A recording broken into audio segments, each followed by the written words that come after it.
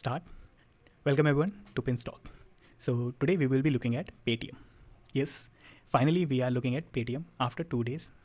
Reason है कि हम लोग इसके ऊपर वेट कर रहे थे पेटीएम के रिप्लाई का very important thing one sided news पे हम लोग एक्शन नहीं ले सकते अनलेस एंड अनटिल पेटीएम के हमें डिस्क्लोजर नहीं मिल जाते वो उनका व्यू क्या है उनका नेक्स्ट एक्शन क्या है या फिर फ़र्स्ट एक्शन क्या है फाइनली उन्होंने एक पेपर एक नोट भेजा है कुछ सेवन टू एट पॉइंट्स का, उनको हम लोग देखेंगे इस वीडियो के अंदर, समझेंगे कि जो आरबीआई का डंडा चला है 197 के ऊपर, और उसमें से जो गोल्डन एग निकल के गिरा है, क्या उसके टूटने की वजह से क्या 197 पे असर पड़ेगा?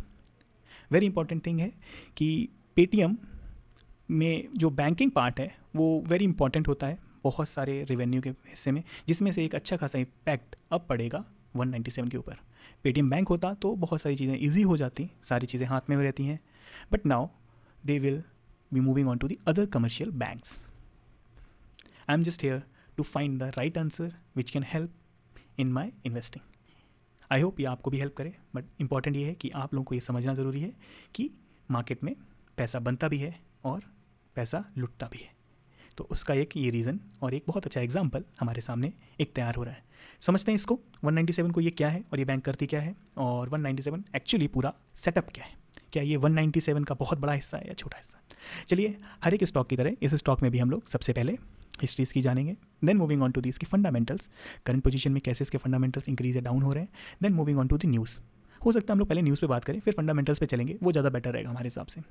तो न्यूज़ पे हम लोग पहले बात करते हैं। न्यूज़ इसलिए क्योंकि राइट नाउ बहुत बड़ी एक रूलिंग आई है by R B I two one seven कि उनका एक पेटीएम बैंक कुछ गड़बड़ कर रहा था, जिसकी वजह से मुझे पेटीएम बैंकिंग सर्विस से निकाल दिया है। क्या क्या सर्विसेज़ थी और वो किस तरीके की अर्निंग वन नाइन्टी सेवन को दे रही थी, जिसकी वजह से पेटीएम को इतना इफ़ेक्ट पड़ रहा है, जितना हमें दिख रहा है? क्या ये इससे ज़्यादा इफ़ेक्ट पड़ेगा? या ये एक अपॉर्चुनिटी है? क्या वो गोल्डन एग ज़मीन पे गिरने के बाद वापस इनकी बास्केट में आ सकता है? या उसकी जगह पे वो कोई अच्छा एक अल्टरनेटिव लेकर आएँगे? या फिर कुछ और? समझेंगे इस वीडियो के अंदर। आपके मन में क्या है? आपके आइडियाज़ क्या हैं? 197 से रिलेटेड प्लीज़ हमें बताइए कमेंट में। 197 अगर आप लोगों ने आईपीओ के टाइम में देखा हो तो one of the biggest IPO बोला जाता था कि भैया ये सबसे बड़ा आईपीओ है इंडिया का। बिकॉज़ ऑलमोस्ट हर एक जगह पे आपको पेटीएम दिखता था।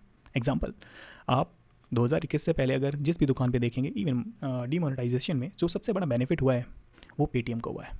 पेटीएम को बहुत बड़ा फंड आया है पब्लिक का from all over the India पूरे इंडिया से अगर किसी कंपनी को सबसे ज़्यादा फ़ायदा हुआ है डीमोनेटाइजेशन का, वो था पेटीएम पेटीएम ने वहाँ से ग्रो जो ग्रोथ दिखाई है, वो फिनॉमिनल थी।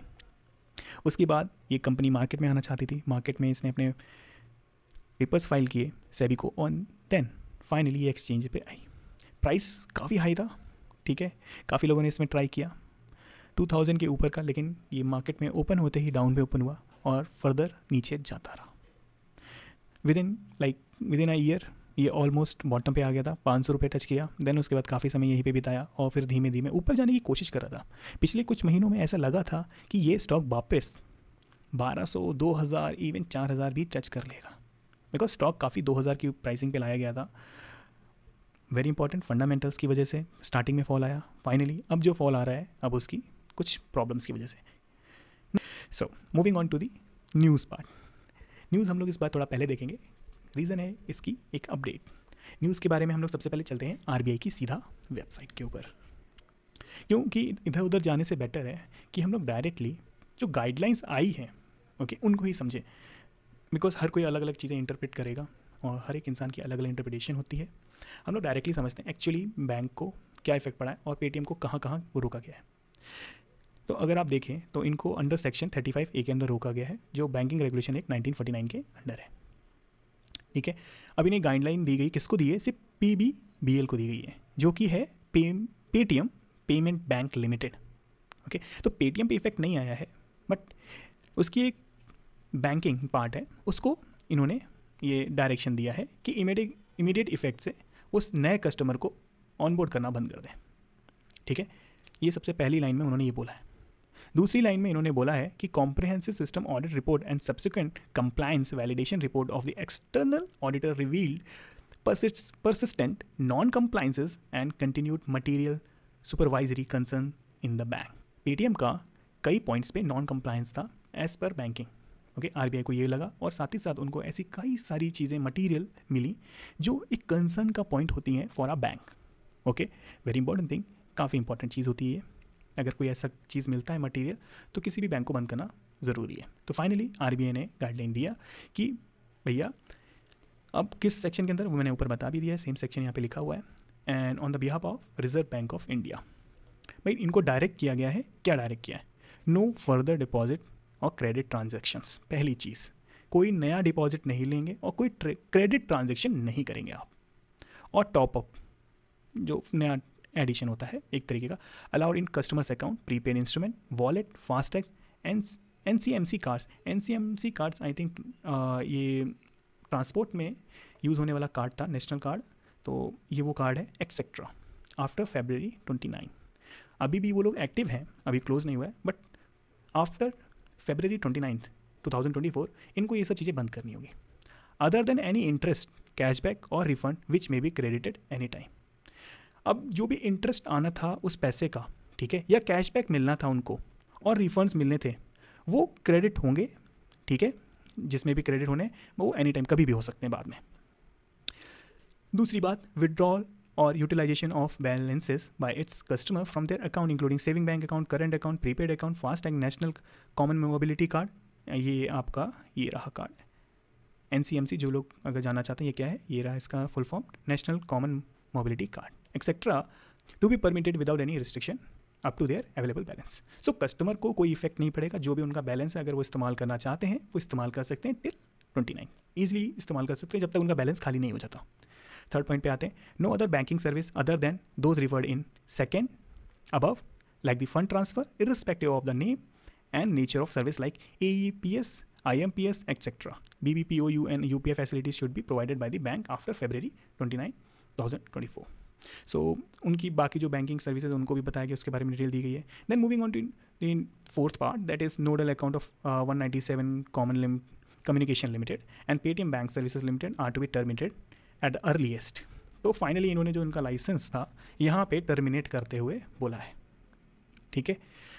फाइनली इन्होंने फिफ्थ पॉइंट में बोला है settlement of all pipeline transaction and nodal accounts जो भी इनके ट्रांजेक्शन्स इन मिडल हैं, उनको कंप्लीट करने के लिए कहा है shall be completed by fifteen March ठीक है? इन्होंने वो तारीख दी है फिफ्टीन मार्च की।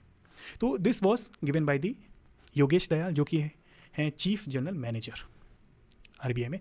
तो ये वहाँ से निकल के आया और इकतीस जनवरी को ये सभी को पता चला था। अब न्यूज़ का इफ़ेक्ट तो पड़ चुका है। अब बात आती है कि पेटीएम ने क्या इसका एक्शन लिया। आइए फटाफट उसको भी देख लेते हैं। सो पेटीएम ने एक गाइडलाइन इशू की है फेबररी को। फेब में उन्होंने ये बताया, कुछ की पॉइंट्स थे की अपडेट्स जो थे वो ये थे कि ठीक है भैया, हमको आरबीआई ने एक इमीडिएट एक्शन लेने के लिए बोला है, ठीक है? और तो ये बता रहे हैं कि सारे यूज़र्स उनके बैलेंस जो फास्टैग हैं, वो काम करेंगे twenty ninth Feb two thousand twenty four तक, ठीक है? सारे बैलेंस जो भी हैं, आप खाली कर सकते हैं, दूसरी बैंक अकाउंट्स में ट्रांसफ़र कर सकते हैं। Now moving on to the third part बोला O C L O C L क्या है? ओ सी एल है आपका वन कम्युनिकेशन लिमिटेड जो कि आप देख रहे हैं, जो स्टॉक मार्केट में लिस्टेड कंपनी है, उसका नाम है ये, ठीक है? तो ये दोनों डिफरेंट चीज़ें हैं।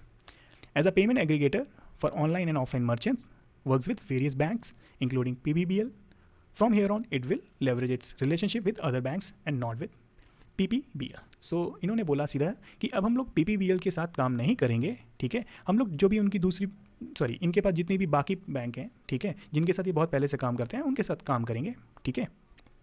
Now moving on to the fourth point बोला O C L has already been working okay इन्होंने आप बता रहे हैं कि भैया हम लोग पिछले दो साल से दूसरी बैंकों के साथ भी काम कर रहे हैं। Now they will move on to the other bank जो मार्केट में कमर्शलाइज हैं ऑलरेडी ठीक है, जैसे हो गया हमारे एच डी या फिर बड़ी बैंक या फिर सरकारी बैंकों के साथ जिनके साथ ऑलरेडी इनके कई टाई अप्स चल ही रहे हैं। अगर आप लोग जानते हैं कि इनके credit card already by H D F C bank और एस बी आई बैंक के ज़रिए से ही इशू किए जाते थे इंडिया में। So now moving on to the fifth part. With regards to the direction on the termination of nodal account of OCL and Payment Gateway Services Limited PPSL by February 29, 2024, OCL and PPSL is in process of moving nodal account to other large commercial banks. तो कहने का मतलब है इनके सिर्फ़ banking services को बंद किया है तो कहने का मतलब बाकी चीज़ें इनकी चल रही हैं अगर आपको पता हो पेटीएम हर एक फ़ील्ड में है फ्रॉम ट्रैवल से लेकर खाने हर चीज़ में पेटीएम का इस्तेमाल होता है they are payment gateway first of all जो उन्होंने लॉन्च किया था they are as a payment gateway जो लोग जानते हैं, काफ़ी समय से यूज़ कर रहे हैं आई थिंक 2021 से बहुत पहले से चल रहा है पेटीएम तो पेटीएम का सबसे मेन जो बिज़नेस है, वो था, हमेशा से ही, वो था पेमेंट गेटवे का ओके ये अलग अलग जो बिज़नेस हाउसेस थे, उनके लिए एक पेमेंट गेटवे का काम करता था। Now, moving on to the th- sixth point, OCL's marketing and financial services business are not affected due to direction towards our associate company PPBL. तो ये सिर्फ़ यहाँ पे बता रहे हैं मार्केटिंग के तरीके से भैया कि हमारा इससे कोई नाता नहीं है ठीक है? ये दोनों डिफरेंट एंटिटीज़ हैं। इनके जो फाइनेंशियल सर्विस बिज़नेस है उनमें कोई इफ़ेक्ट नहीं पड़ेगा ठीक है? नाउ सेवन्थ पार्ट बाद में बात करेंगे इसके बारे में। There will be requirement to have some operational changes for which the work has in started and there on मतलब इन्होंने जो इसके ऊपर काम करना शुरू कर दिया है।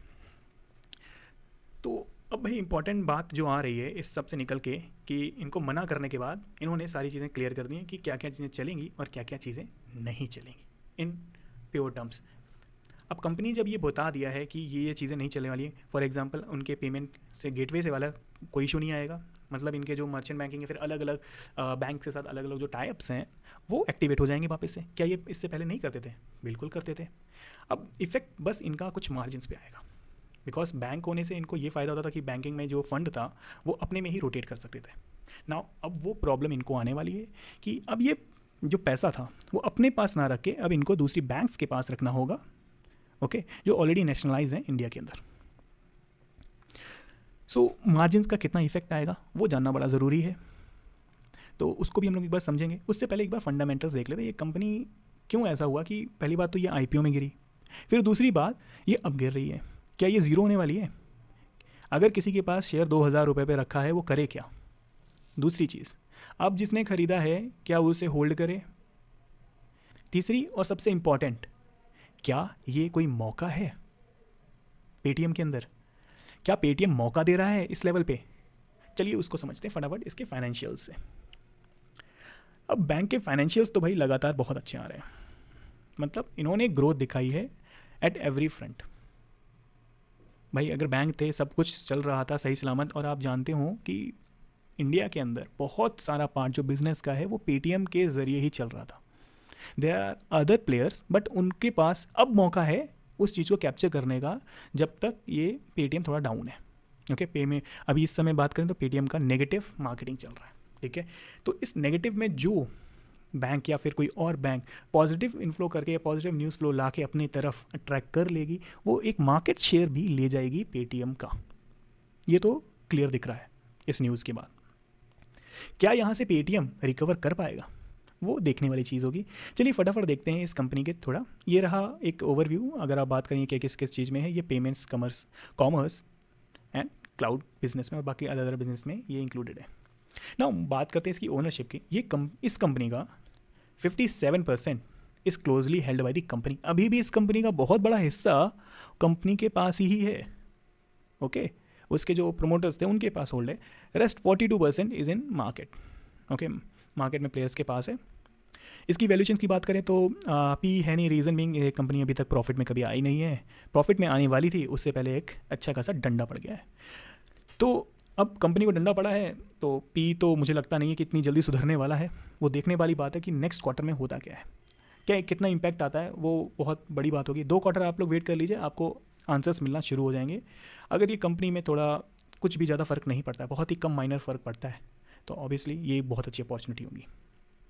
तो सेल्स की बात करें प्राइस टू सेल्स की तो प्राइस के मुकाबले सेल्स थ्री एक्स पे मतलब जो सेल्स कर रही है करंटली उसके तीन गुना पे ये इसका प्राइस मार्केट में अवेलेबल है। सो so, वैल्यूशंस की बात करें तो अगेन ये तो बहुत हैवी दिखेगी। पीएस काफ़ी ज़्यादा था अभी डाउन है। हमेशा ही लगातार ये डाउन आती जा रही है। बात करते हैं ग्रोथ कंपनी 2018 में 32 बिलियन की हुआ करती थी रेवेन्यू जनरेट करती थी। आज वो 78 बिलियंस का जनरेट कर रही है। मार्जिन की बात करें पहले minus one twenty nine percent हुआ करते थे। 2022 में ये घट के बाईस परसेंट आ गए। इससे भी कम अभी क्वार्टर्स में आ गए जिस जिसमें बहुत अच्छी न्यूज़ चलना स्टार्ट हुई थी कि अब ये वापस सही हो जाएगा वापस ये टॉप बनाएगा। तो ये वो रीजंस थे जिसमें ग्रोथ दिख रही थी। मार्जिन कम हुए इन रेवेन्यूज़ जनरेट कर रही थी कंपनी लगातार और वो अपने पे ऑफ्स भी कर रही थी। इसके हम लोग एक बार फाइनेंशियल्स यहाँ पे देख लेते हैं। फिर फाइनेंशियल्स में डायरेक्टली आपको इसकी share holding and on everything दिखाऊँगा ठीक है? इसमें हम काफ़ी डिटेल में बात करेंगे क्योंकि ये बैंक का जो आ, हम लोग इसमें डिटेल में बात करेंगे because Paytm is like known to every और सभी लोग जानना चाहते हैं कि पेटीएम में होगा क्या। इवन हमारे जितने भी यूटीए के मेंबर्स हैं, वो सभी लोग जानना चाहते हैं कि पेटीएम में करें तो क्या करें क्या। क्योंकि सभी को एक कंप्लीट पिक्चर नहीं समझ में आ रही है अभी। हम कोशिश करेंगे उस कंप्लीट पिक्चर को आप लोगों के सामने लाने की। चलिए बात करते हैं नेक्स्ट पॉइंट पे, जो कि है हमारा इसके एक्चुअल फाइनेंशियल्स अब 197 कम की जो वैल्यूएशन है ना फेस वैल्यू है, वो एक की है, ठीक है? ऑलरेडी ये लोग बहुत मत बोलते ना जब आप किसी मार्केट में आते हो, अगर आप मार्केट के प्लेयर्स के लिए कोई ग्रोथ की अपॉर्चुनिटी छोड़ोगे नहीं तो ये ग्रो कैसे करेगी? ऑलरेडी ये कंपनी एक के फेस वैल्यू पे आई थी। तो स्टार्टिंग में तो जो इन्वेस्टमेंट इन्होंने लाए थे या फिर मार्केट में आई लेकर आए थे, वो बहुत ही बैड वैल्यूएशन पे आया था। क्योंकि बुक्स में कोई प्रॉफिट तो था नहीं। बट ये कंपनी फिर भी मार्केट में आई थी। आप ध्यान से देखेंगे, मैं आपको दिखा देता हूँ वैल्यूएशन में वही स्पीड ये देख लीजिए 2016 में इसका ई e देख लीजिए। पर शेयर जो होल्डर्स थे ना शेयर होल्डर्स वो हर साल तीन सौ छब्बीस रुपये एक्स्ट्रा गवा रहे थे जो उन्होंने ऑलरेडी इन्वेस्ट कर दिया था ओके जिसने भी इनको लोन दिया, जो भी सर्विस दी थी, वो कम गवा रहे थे, कमा तो बिल्कुल भी नहीं रहे थे। कंपनी अभी से तो आई नहीं थी, बहुत पुरानी थी। तो गवाते गवाते इन्होंने धीमे धीमे गवाना थोड़ा कम किया है। बीच में तो 2019 में तो इन्होंने मतलब गज़ब कर दिया था। 600 मतलब सात सौ रुपये के आसपास का नुकसान पर शेयर चल रहा था। और अगर बात करें नेट सॉरी नेट प्रॉफिट की तो ये माइनस तीन हज़ार नौ सौ साठ पे चल रहे थे। करोड़ की बात है। ओके तो अब बात करते हैं अभी क्या है। लेटेस्ट पोजीशन 2023 में मार्च की बात करें तो इनका जो लॉस था, काफ़ी हद तक कम हुआ, पर शेयर भी थोड़ा डाउन हुआ। और अगर लेटेस्ट की बात करें तो ये भी सिर्फ़ माइनस सत्रह रुपये मतलब अगर कोई शेयर होल्डर है या अभी भी है तो उस शेयर होल्डर को ज़्यादा ज़्यादा सत्रह रुपये का नुकसान होता पर शेयर को एक साल रखने पर ठीक है? दैट्स इट ठीक है? तो ई e का इतना लॉस होना था। अब बात करते हैं इस कंपनी की बैलेंस शीट के ऊपर। बैलेंस शीट तो आप देखेंगे, ध्यान देंगे तो धीमे धीमे इंक्रीज ही की मतलब असेट्स इनके पास इंक्रीज कर रहे हैं। रीज़न बिंग ये कंपनी सिर्फ़ पेमेंट और मर्चेंट बैंकिंग में नहीं है। अब अब इन्होंने काफ़ी सारी टेक्नोलॉजीज़ में भी वर्क करना शुरू कर दिया है। ओके? पेटीएम सिर्फ़ एक पॉइंट नहीं रह गया कि आप उसे बोलो कि हाँ ये बैंक हट गई तो ये ख़त्म हो जाएगी। तो अगर हम इसकी वेबसाइट पे चलते हैं एक बार। पेटीएम फटाफट सर्च करते हैं। तो पेटीएम को आप देखेंगे कि पेटीएम एक तरीके से एग्रीगेटर है, ठीक है? अलग अलग बिज़नेस हाउसेस बिज़नेस कंपनीज़ के साथ इनके टाइप्स हैं for purpose of the transactions आप देखिए उनका ट्रैवल्स में कितना अच्छा बिज़नेस है। Right no they have invested a huge amount ठीक है? जो ट्रैवलिंग्स में है, इन्होंने बहुत ही बीच में ही कुछ समय पहले एक अच्छा खासा इन्वेस्टमेंट भी किया हुआ है ट्रैवलिंग से रिलेटेड वो भी बहुत अच्छा था। और इसके अलावा इन्होंने एआई में भी अच्छा खासा इन्वेस्टमेंट किया है एस बी आई कार्ड देखिए। तो ये सब तब बंद हो जाएँगे। इन सब का तो कोई खास फ़र्क नहीं पड़ेगा। हाँ इंपॉर्टेंट चीज़ पेटीएम मनी अभी बंद नहीं होगा। Paytm money is like a broker okay आपका जो इन्वेस्टमेंट से रिलेटेड म्यूचुअल फंड से रिलेटेड काम करता है तो ये बिज़नेस इनका बंद नहीं हो रहा है। इंश्योरेंस बंद नहीं हो रहा है। इंश्योरेंस में अभी भी एक्टिव रहेंगे। पर्सनल लोन पर्सनल लोन भी इनके चलते रहेंगे। बिज़नेस सर्विसेज़ बाय पेटीएम ठीक है? तो ये सब चीज़ें तो ये लोग अभी भी कर रहे हैं। इनके शॉप भी चल रही हैं, इनके मर्चेंट बैंक जो मर्चेंट्स हैं, सब लोग इस्तेमाल कर रहे हैं। बस बैंकिंग चेंज हो जाएगा। जो पैसा पेटीएम के अकाउंट में डायरेक्टली जाता था, अब उन लोगों को अपने किसी बैंक अकाउंट में भेजना होगा। तो अब ये पेटीएम के ऊपर है कि वो कितना ईजिली कस्टमर्स को ट्रांसफ़र कर सकते हैं from there bank account to other banks bank account ये देखने वाली चीज़ है। अगर वो स्मूथ रहा तो ये कंपनी बच जाएगी। अगर वो स्मूथ नहीं रहा, बहुत हैक्टिक वाला काम हुआ then there will be a problem okay तो this is on Paytm fundamental of Paytm की एक बोला जाए तो स्ट्रक्चर वैल्यू के ऊपर। Now moving on to the there very important part मैं कैश फ्लो भी आपको दिखा देता हूँ। Cash flow is in positive very important thing guys कि इनका कैश फ्लो ना नेट कैश फ्लो पॉजिटिव हो गया है। अब इनके पास अगर मैं बोलूँ जो इनको आई थिंक सितंबर में आरबीआई ने एक अच्छा खासा फ़ाइन भी लगाया था पाँच करोड़ का। तो वो भी कोई ज़्यादा फ़र्क नहीं पड़ेगा। जो कंपनी हज़ार करोड़ कमा, दो हज़ार के आसपास कमा रही है तो एक हज़ार रुपये पाँच हज़ार, पाँच करोड़ चला भी जाएगा तो क्या चाहेगा कुछ नहीं होगा उनको। ठीक है कैश है उनके पास अभी। तो ये कमा चुके हैं। अब बात आती है शेयर होल्डिंग पैटर्न की। बहुत इंपॉर्टेंट चीज़ है, सबसे इंपॉर्टेंट चीज़ मैं तो बोलूँगा। इस कंपनी में कौन कौन जम के मतलब बैठा हुआ है अभी भी। एफ़ आई आईज तिरसठ परसेंट। पब्लिक तीस परसेंट और डी आई एस छः परसेंट। तो लोग डी आई एस को पता था कि ये कंपनी डूबने वाली है। एफ़ आई एस तो इस उम्मीद में आए थे भैया कि अगर आप लोग शायद बाहर की एक बहुत अच्छी कंपनी है जिसका लोग, काफ़ी लोग बोलते हैं कि Paytm is a copy of that company मैं बोलूँगा नहीं, उसका नाम नहीं लूँगा, आप लोग सभी जानते ही हैं। तो ये उसकी कॉपी है और ये कंपनी उसी के हिसाब से आई थी, उसी के मॉडल पे आई थी।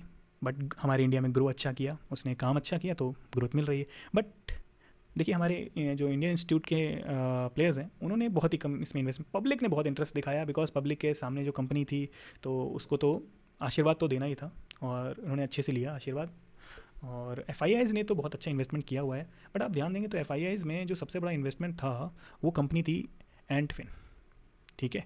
एंड फिन है तो भैया कि ये एक चाइनीज़ कंपनी की तरीके से आप समझ लीजिए चाइनीज़ कंपनी थी जिसने अपनी अच्छी खासी पोजीशन को कम किया है। चौबीस परसेंट के आसपास ये होल्ड कर रही थी, तिरसठ परसेंट में से। अब वो सिर्फ़ nine point eight nine percent रह गया, बाकी हिस्सा बट गया है बाकियों में। ठीक है? किसी ना किसी ने तो उठा ही लिया है। ऐसा नहीं है कि निकली है तो मतलब पूरा ही लेक छोड़ के चली गई है। अभी भी है, बट कुछ हिस्सा इन्होंने बांट दिया है। आप देखो जो दो परसेंट पे थे, ओके, इन्होंने तो हटा ही दिया। कनाडा पेंशन प्लान फंसेंगे तो पब्लिक ही। तो वहाँ की फ़ंड एक कंपनी थी पेंशन फंड उन्होंने बेचारों ने वन पॉइंट फाइव थे, उन्होंने अब वन पॉइंट सेवन के लिए। बेचारा तो नहीं बोलूँगा उनके भी किसी स्मार्ट पर्सन ने ये सोच के किया होगा okay now moving on to the next part कि करना क्या है? अब बात करते हैं हमारे डायरेक्टली हम लोग न्यूज़ न्यूज़ तो देख ही चुके हैं। चलिए अब बात करते हैं हमारे टेक्निकल्स के ऊपर। आई होप आपको इससे काफ़ी अच्छी इमेज मिल गई हो, ये कंपनी कैसी है और कितना क्या इफ़ेक्ट पड़ने वाला है, ठीक है? इंपॉर्टेंट चीज़ है, ये कंपनी अब ऑलमोस्ट डेप्ट फ्री है। ऐसे वक्त पे ये चीज़ आ रही है, ये जब ये कंपनी ऑलमोस्ट फ्री हो गई है डेप्ट से। ठीक है? तो आई डोंट थिंक कि जो कंपनी जब डेप में थी, ठीक है, तब इतना बुरा कुछ नहीं हुआ। और अब अगर ये डेप फ्री से निकलने वाली है, उसके बाद अगर कुछ ऐसा आता है तो इसको ज़्यादा कितना इम्पैक्ट पड़ेगा? पेटीएम बैंक नहीं रहेगी तो बैंक्स दूसरी तो हैं।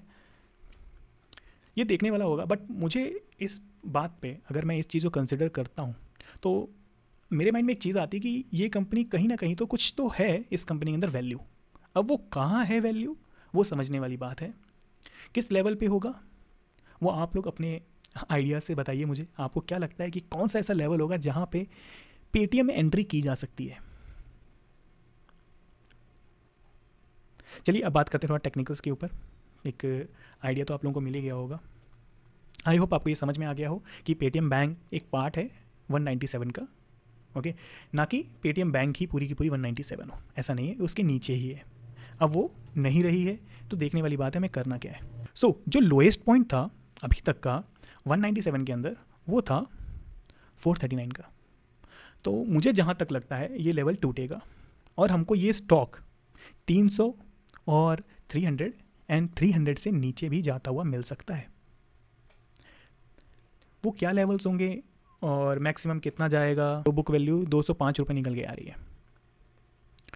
तो बुक वैल्यू अगर दो सौ पाँच रुपये है तो हम लोग एक माइंड में आइडिया तो बना ही सकते हैं कि ज़्यादा से ज़्यादा ये कंपनी गिरेगी तो भैया दो सौ पाँच। लेवल लगा देते हैं फटाफट। वहाँ पे एक बार सोचा तो जा ही सकता है, भले कुछ ना किया जाए तो कम से कम एक एंट्री तो मार ही लेंगे। ठीक है? क्योंकि भाई कंपनी की बुक वैल्यू है और ऐसा भी नहीं कि बहुत बड़ा हैम्प आ जाएगा। वो मतलब ऐसा नहीं कोई बड़ा हैमर नहीं गिर जाएगा इसके ऊपर कंपनी के ऊपर बैंकिंग का काम ना करने से, क्योंकि पहले भी नहीं कर रही थी। अब बस ये होगा कि बिज़नेस तो बिल्ड हो चुका है ना। बस इनको ये मैनेज कर जाएँ तो ये चीज़ चांसेस हैं, ये वापस सही हो जाएँगे। बट ये एक अपॉर्चुनिटी की भी तरह हो सकती है, अगर आप इसे सही से समझें। मैंने आपको लेवल दिखा दिया कहाँ पे एक एंट्री के बारे में, सोचा भी जा सकता है। बट वेरी इंपॉर्टेंट आप इसको एज एन एडवाइस प्लीज़ ना लें। आप अपनी खुद की रिसर्च करें, आप अपने खुद के विवेक का इस्तेमाल करें। टेक्निकल्स में कोई ख़ास चीज़ें तो है नहीं। अगर मैं बात करूँ हमारे ए सी टी टूल की। वो हमारा ए सी टी टूल आपको दिखाएगा। आप देखेंगे करंटली जो ये प्राइस जिस प्राइस पे रुका हुआ है, उसी प्राइस से इसने रैली दी थी। एक तरीके से इसका एक सपोर्ट है। यहाँ पे बहुत बड़े प्लेयर्स ने आई थिंक बाय करने के लिए लगाया होगा प्राइसेस या ऑटोमेटिक बाइंग होंगी, जिसकी वजह से ये नीचे नहीं जा रही। अच्छी खासी सप्लाई आई है, कोई या तो फिर भर रहा है इस जगह पे। किसी को लगता है कि यहाँ पे वैल्यू है। अब किसी ने तो ख़रीदा है। अब बेच के हर कोई तो नहीं जाएगा। मार्केट है। किसी की जेब से निकल के किसी की तो जेब में जाएगा ये ऐसा तो नहीं है डिज़ोल्व हो जाएगा। अब कौन है इतने बड़े लेवल इस फॉल में कौन इस जगह पे बाय कर रहा है और बाय करने के बाद वो कितनी देर होल्ड करेगा? वो इंपॉर्टेंट है। अगर किसी को अभी हज़ार रुपये नीचे मिल रहा है, जो अभी कुछ दिन पहले ये स्टॉक हज़ार रुपये टच मार कर आया उसके बाद अगर उसको पाँच सौ रुपये नीचे मिल रहा है तो कोई ना कोई तो इंटरेस्टेड होगा। अब हर कोई तो न्यूज़ और एक प्रॉब्लम देख के तो नहीं लेता। कुछ ना कुछ बड़े इन्वेस्टर्स होंगे जिनके व्यू दस साल इवन पचास साल का होगा। तो उनको अच्छा लग रहा होगा। वो हमको पता चल जाएगा कुछ ही दिनों में। आप एक क्वार्टर वेट कर लीजिए। आपको चीज़ें समझ में आने लगेंगी क्या ये अपॉर्चुनिटी थी कि नहीं। बट मेरे को लगता है कुछ एक ही अपॉर्चुनिटी जैसा है। क्योंकि जब डेप्थ मुझे खाली होता हुआ दिख रहा है कंपनी की वैल्यूएशन थोड़ी थोड़ी बढ़ रही है धीमे धीमे और बैंकिंग और बैंकिंग सर्विस देना थोड़ा तो इनके मार्जिनस पे तो इफ़ेक्ट डेफिनेटली पड़ेगा। जो ये अर्निंग्स करते थे कॉस्ट में इफ़ेक्ट आएगा। क्योंकि अब इनको अदर बैंक्स के साथ टाइप्स रखने पड़ेंगे। इवन हो सकता है इनके कॉस्ट में हेल्प करे ये चीज़। वो देखा जाएगा, वो आगे क्वार्टर में हमको पता चल जाएगा क्लियरली तो ये कुछ लेवल्स हैं, आपको क्लियरली दिख गए होंगे। इंपॉर्टेंट लेवल भी मैंने बता दिया, कहाँ पे आप देख सकते हैं, आप इसका स्क्रीनशॉट रख सकते हैं अपने पास, ये काफ़ी हेल्प करेगा आपको। So we have presented everything जो पेटीएम से रिलेटेड थी इस न्यूज़ फ्लो के अंदर। जो इतना बड़ा मार्केट में न्यूज़ फ्लो चल रहा है पेटीएम से रिलेटेड उसका हमने एक कंप्लीट ओवरव्यू आपके सामने रख दिया है। अगर आपको हमारी वीडियो अच्छी लगी हो प्लीज़ आप थम्सअप देखिए, उसे प्रमोट कीजिए। अगर आपको ये वीडियो अच्छी नहीं लगी हो तो प्लीज़ आप कमेंट में डिस्क्राइब कीजिए क्या चीज़ें हम लोग उन्हें अच्छा कर सकते हैं। नेक्स्ट अगर आपको डिसलाइक भी लगे तो आप नीचे डाउन साइड वाला थम्सअप भी क्लिक कर सकते हैं। So we will appreciate those things हमें पता चले कि हमने क्या क्या चीज़ें मिसिंग की हैं ओके okay?